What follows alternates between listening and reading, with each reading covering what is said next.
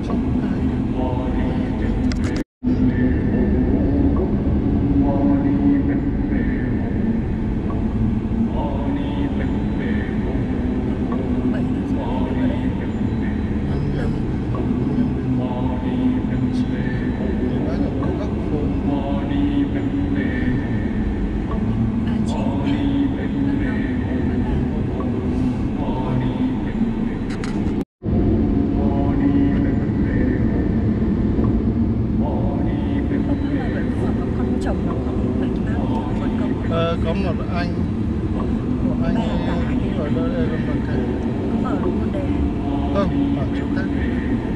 Bác ấy làm ở chỗ bác khi bác ấy còn sống thì bác ấy cho thì đủ hết rồi. Anh sao ở người đây bác nói vẻ dễ nghe mà. Bác là người bắc mà. À, bác là người bắc là à, bác đưa vào đây vậy thì Ừ, bác bảo là dễ nghe chị em bảo. Bọn nó để ở bắc hết mà. Mới đưa vào đây đâu Ừ, từ sau giải phóng ấy bác vào đây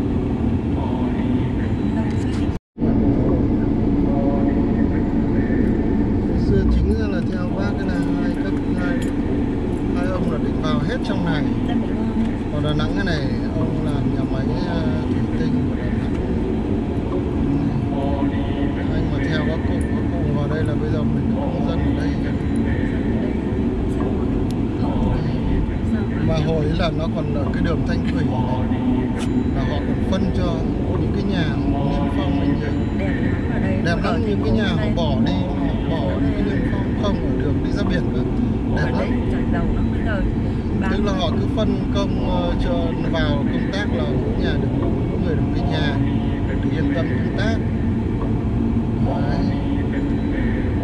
Nhà, nhà thì là chắc là nhà ôi nhà người ta bỏ nhiều lắm chính quyền là anh niêm vào phong đây lại để thôi để mẹ cũng một cái khác nhỉ Ừ. ở lại nó nó số hết rồi. số phận hết rồi Nghe anh bảo nghe tin về bảo nóng lắm thế mà mới nóng một chịu đâu. Ừ, anh vào đúng mùa hè. Nóng lắm. Ừ, mùa hè của cái Đà Nẵng này. Em phải để- em sợ em ừ, em phải để ý cái này về Hà Nội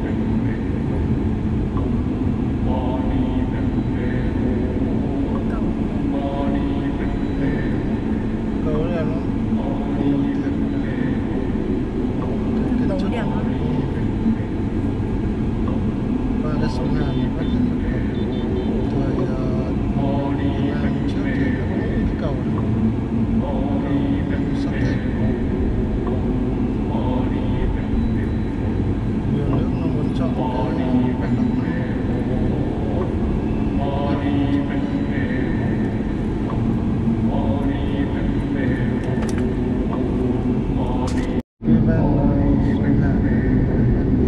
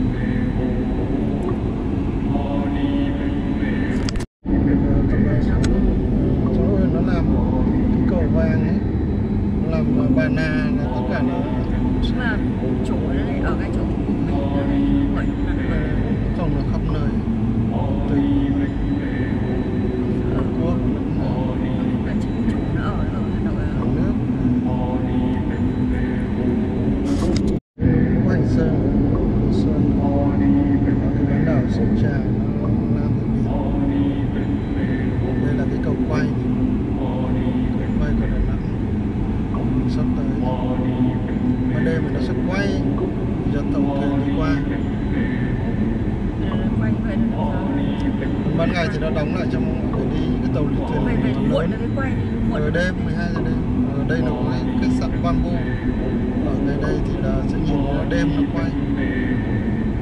Ừ.